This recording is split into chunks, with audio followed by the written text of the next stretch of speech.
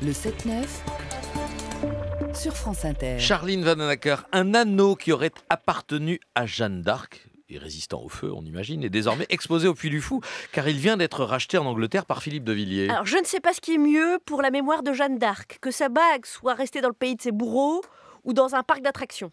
Quand on pense au puits du Fou, on visualise beaucoup mieux le fou que le puits. Mais voilà, le prétendu anneau de Jeanne d'Arc a été racheté 376 000 euros. Jean-Marie Le Pen a bien failli surenchérir, mais au dernier moment, les banques russes n'ont pas suivi. Au secours Oui, Jean-Marie, oui. 376 000 euros.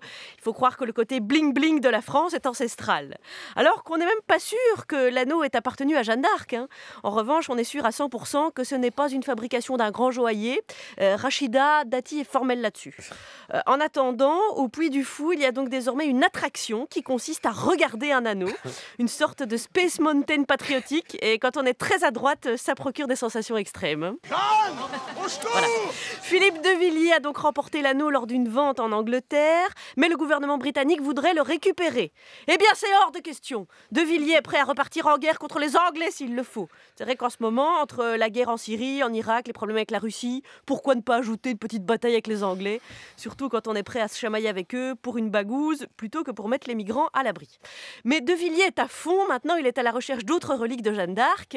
Il a repéré une vente aux enchères du stérilet de Jeanne d'Arc ah. et du sonotone de Jeanne d'Arc. Bah, comme ça, on sera sûr si elle entend vraiment des voix. Euh, quant à son cheval, à l'heure qu'il est, ça doit faire un bail qu'il a été congé dans une lasagne. Moi, j'entends déjà ceux qui disent Oui, je vous entends, Stéphanie. Oui, mon Dieu, comment peut-on blasphémer notre symbole national? Mais écoutez, mais les Belges ne respectent rien, je vous entends. Pardon, mais enfin, nous, on fait quand même beaucoup moins de chichi avec le Manneken Peace. Hein. Bon. Euh, alors, je rappelle qu'il se pourrait que ce soit la bague de Jeanne d'Arc. Il se pourrait aussi que, vu la situation où il se trouve, les Français s'en tamponnent. Euh, quant à vouloir racheter l'honneur des Français, De Villiers aurait mieux fait de dépenser l'argent pour gagner un match contre les Anglais au tournoi Destination. Mais enfin, voilà, selon certains, la France aurait payé la rançon aux Anglais pour la pucelle.